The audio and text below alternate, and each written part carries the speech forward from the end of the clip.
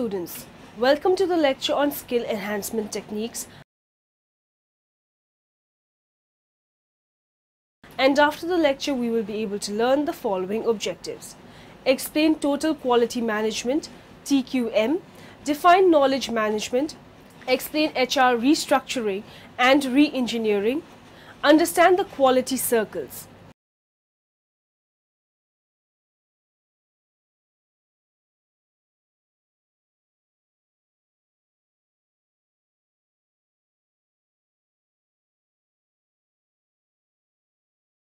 Let's start with a brief introduction to skill enhancement techniques. Skill enhancement provides the opportunity and knowledge for a client to develop and strengthen the necessary skills to gain, maintain and advance in a chosen area. There are generally four parts to effect training in specific skill enhancement. Assessment, skills program construction and selection, implementation, feedback evaluation. Areas of focus. Examples of areas of focus and skill enhancement are detailed as social skills and competence. Social skills are defined as specific strategies that are used by an individual to perform social tasks effectively and thus be socially successful and socially competent. They can be seen as falling into one of the two categories environmental social skills which are essential to perform tasks in both an educational setting and the workplace such as listening, following instructions and appropriate work habits. Social interaction skills that facilitate any positive social interaction such as starting and maintaining a conversation, complimenting others and resolving conflict.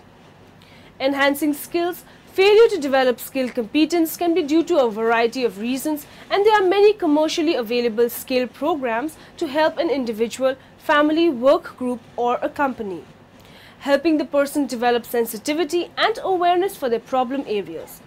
The development in the client of a sense of casualty by linking this particular problem, past and current events and problems, the development of a comprehensive list of alternative behaviors, taking the client step by step through the most applicable alternative behaviors. Once a solution for the particular problem has been selected and implemented, the client is helped to apply the solution to other problems they may be having. Let's discuss about the total quality management. Total Quality Management or TQM is the optimization and integration of all the functions and the processes of a business in order to provide for excited customers through a process of continuous improvement. This systematic approach to quality management requires the following components. Planning the processes and inputs, providing inputs, operating the processes, evaluating the outputs, examining the performances of the processes, modifying the processes and their inputs. Objectives of TQM. There are some objectives of TQM that are given below. Process improvement, defect prevention priority of effort, developing cause-effective relationships, measuring system capacity, developing improvement checklist and check forms, helping teams make better decisions, developing operational definitions, separating trivial from significant needs, observing behavior changes over a period of time. The important principles of total quality management. The TQM is an approach that organizations use to improve the internal processes and increase the customer satisfaction. When it is properly implemented, this style of management can lead to decreased costs related to corrective or preventive maintenance, better overall performance and an increased number of happy and loyal customers. There are seven important principles of TQM as a foundation for all the activities. Quality can and must be managed. Many companies have wallowed in a repetitive cycle of chaos and customer complaints. They believe that their operations are simply too large to effectively manage the level of quality. The first step in the TQM process then is to realize there is a problem and that it can be controlled. Processes, not people, are the problem.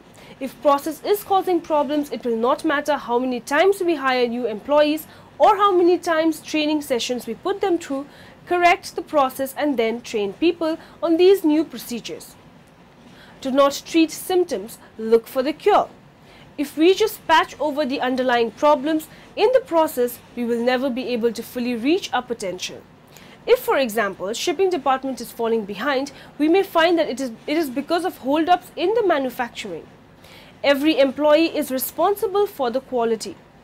Everyone in the company, from the workers on the line to the upper management, must realize that they have an important part to play in ensuring high levels of quality in their products and services. Everyone has a customer to delight and they must all step up and take responsibility for them. Quality must be measurable. A quality management system is only effective when we can quantify the results. We need to see how the process is implemented and if it is having the desired effect. This will help us set our goals for the future and ensure that every department is working towards the same result. Quality improvements must be continuous. The TQM is not something that can be done once and then forgotten. It is not a management phase that will end after a problem has been corrected. Real improvements must occur frequently and continually in order to increase the customer satisfaction and the loyalty. Quality is a long-term investment. Quality management is not a fix. We can purchase QMS software that will help us get things started, but we should understand that real results will not occur immediately. The TQM is a long-term investment and it is designed to help us find long-term success. Yak it to me.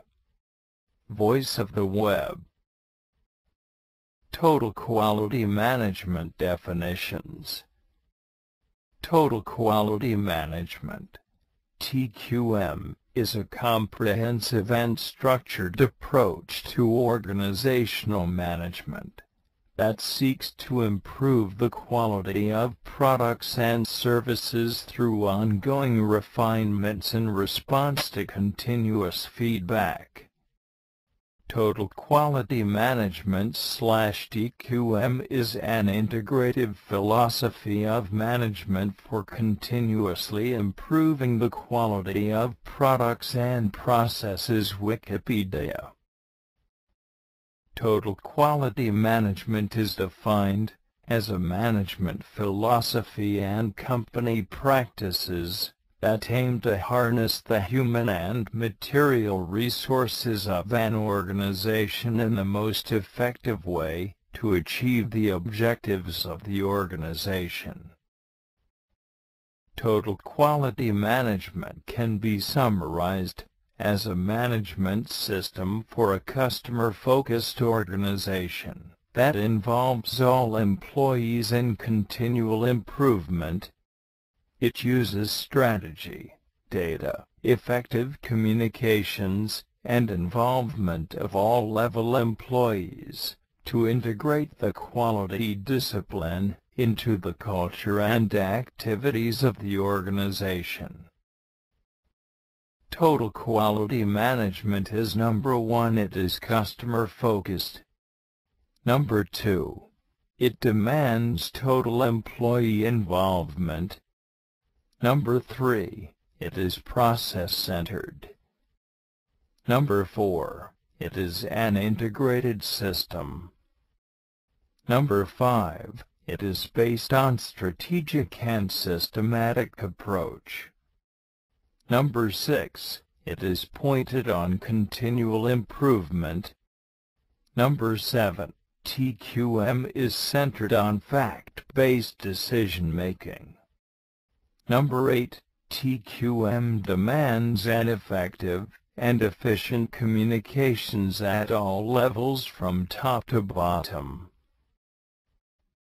TQM processes are divided into four sequential categories, plan, do, check, and act, the PDCA cycle. In the planning phase, people define the problem to be addressed, collect relevant data, and ascertain the problem's root cause. In the doing phase, people develop and implement a solution, and decide upon a measurement to gauge its effectiveness. In the checking phase, people confirm the results through before and after data comparison. In the acting phase, people document their results, inform others about process changes, and make recommendations. for the problem to be addressed in the next PDCA cycle. This audio was brought to you by Yakitome. Voice of the Web. YAKITOME.com. TQM diagram. The TQM is a comprehensive and a structured approach to organizational management that achieves the best quality of products and services through using effectively refinements in response to the continuous feedback and through using them effectively in order to deliver best value for the customer while achieving long-term objectives of the organization. Guideline for Total Quality Management Total quality management transcends the product quality approach, involves everyone in the organization and encompasses its every function, administration, communications, distribution, manufacturing, marketing, planning, training, etc. There are many guidelines of total quality management around to create the TQM diagrams. Though the different organization has the different total quality management criteria, in general guideline of total quality management should contain the following items. The TQM is a customer focused approach. It is company-wide strategy and involves everyone in the organization. It aims at satisfying the customer or delighting them. It provides the best quality product and satisfies them in a cost-effective manner. Fundamental changes in basic beliefs and practices. Prevention of defects is the way and the target is zero defects. Total quality management is methodical, provides meaningful measures of performance that guides the self-improvement efforts of everyone involved. TQM diagram software. Edraw Max is helpful for the drawing of the total quality management diagrams on PCs. The built-in TQM symbols and templates take all the work out of creating high-quality diagrams. Drag and drop, quick style and small arrangement and rich text using a market-leading TQM diagram software. It includes rich, rich templates and examples such as basic drawing templates, basic flowchart shapes, cause and effect shapes, data flow diagram shapes. IDEF0 diagram shapes, SDL diagram shapes, and workflow diagram shapes. TQM diagram symbols. With the standard TQM diagram symbols, it is easy to create total quality management diagrams for business processes, re-engineering, continuous improvement, and quality solutions. Total quality management model. The TQM requires a new process thinking mindset. We must realize that everything we do is part of a process. Our focus shifts from managing outcomes to managing and improving processes, from what to do to how to do the processes better. TQM tools. There are some tools that are given as quality improvement teams. These are small groups of employees who work on solving specific problems related to quality and productivity, often with stated targets for improvement. Quality improvement teams are proving to be highly successful at tracking down the causes of poor quality as well as taking remedial action. Benchmarking. This is the process of identifying the best practices and approaches by comparing productivity in specific areas within one's own company to other organizations, both within and outside the industry. Statistical process control. This is a statistical technique that uses periodic random samples taken during actual production to determine whether acceptable quality levels are being met or whether production should be stopped in order to take remedial action. Commitment. In order for the eye on the future model to be a success, each member in an organization must be committed to the change process. It cannot be viewed as the new flavor of the month, but it should rather be regarded as an exciting life-changing process. Training. Management must promote the need for continuous training and it will facilitate the following. Employees will be more confident and motivated in their work. Reduce staff turnover, reduce errors, improve productivity, improve the organization competitiveness. Let's move to the next topic which is knowledge management. Knowledge management is one of the hottest topics today in both the industry world and the information research world. In our daily life, we deal with huge amount of data and information. Data information is not knowledge until we know how to dig the value out of it. This is the reason we need knowledge management.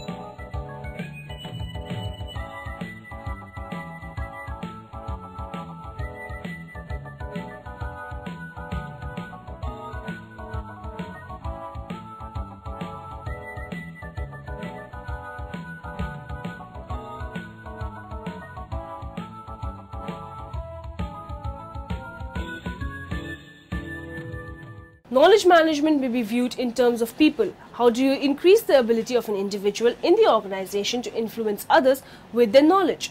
Processes. Its approach varies from organization to organization. There is no limit on the number of processes. Technology. It needs to be chosen only after all the requirements of a knowledge management initiative have been established. Technologies that support knowledge management. These technologies roughly correlate to four main stages of the KM life cycle. Knowledge is acquired or captured using intranets, extranets, groupware, web conferencing, and document management systems. An organizational memory is formed by refining, organizing, and storing knowledge using structured repositories such as data warehouses. Knowledge is distributed through education, training programs, automated knowledge base, base systems, expert networks. Knowledge is applied or leveraged for further learning and innovation via mining of the organizational memory and the application of expert systems such as the decision support systems. Developing a context. Like water, this rising tide of data can be viewed as an abundant, vital and necessary resource. With enough preparation, we should be able to tap into that reservoir and ride the wave by utilizing new ways to channel raw data into meaningful information. That information in turn can then become the knowledge that leads to wisdom. Before attempting to address the question of knowledge management, it is probably appropriate to develop some perspective regarding this stuff called knowledge, which there seems to be such a desire to manage really is. Need of knowledge management. Knowledge management is based on the idea that an organization's most valuable resource is the knowledge of its people. This is not a new idea. Organizations have been managing human resources for years. What is new is the focus on the knowledge. This focus is being driven by the accelerated rate of change in today's organizations and in society as a whole. Knowledge management recognizes that today nearly all jobs invoke knowledge work and so all staff is knowledge workers to some degree or another, meaning that their job depends more on their knowledge than their manual skills. Let's now take a look on HR restructuring. As part of HR restructuring, employee recommendations about enhancing the existing leave program led the university to consider simplifying the current system for the new university staff plan. The proposed university staff leave program would include enhanced accrual and carryover of leave time and a yearly cash out benefit for some unused time. The restructuring of human resources is difficult as it always includes the changes in the job profiles of HR employees and it includes the changes in the organizational structure of human resources and it affects the way how employees do the job sometimes for years. The restructuring of human resources is not simple, but it can bring huge benefits and to introduce the competitive human resources to the organization. The benefits of the restructuring are higher than the cost paid during the restructuring process. Let's talk about the re-engineering. Systematic starting over and reinventing the way a firm or a business process gets its work done. Defined by Michael Hammer and James Champy as fundamental rethinking and radical redesign of business processes to achieve dramatic improvements in the critical measures of performance such as cost, service and speed. Re-engineering is a management tool that became popular in the late 1980s and early 1990s. Like many such tools, it aims to cut costs while at the same time increasing productivity and providing higher levels of service. And while all this is true, re-engineering still offers companies much more. Re-engineering traits one concept that is included in many re-engineering models is downsizing or the reduction of staff. Getting rid of excess staff members is an obvious and many times painful way to cut costs. When this happens, a layoff should be handled in such a fashion as to not strike fear into the main employee base, causing the company to lose its competitive edge while its most valuable assets, the employees, wander. Re-engineering advice from the outside. Re-engineering often tends to be a long, painful and even confusing process. Many companies try to undertake re-engineering internally but with failed results. For these reasons, outside firms can be consulted to help, de help develop the new business design.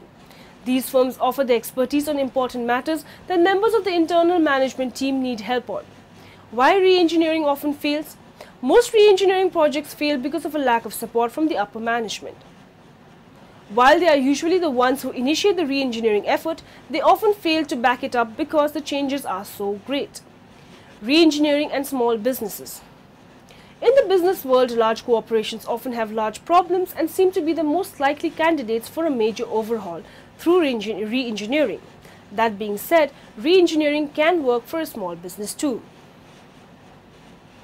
Process re-engineering. Process re-engineering is an approach at improving the efficiency and the effectiveness of business processes that exist within and across organizations. Now let's explore the quality circle. A quality circle is a participatory management technique that enlists the help of employees in solving problems related to their own jobs. The history of quality circle.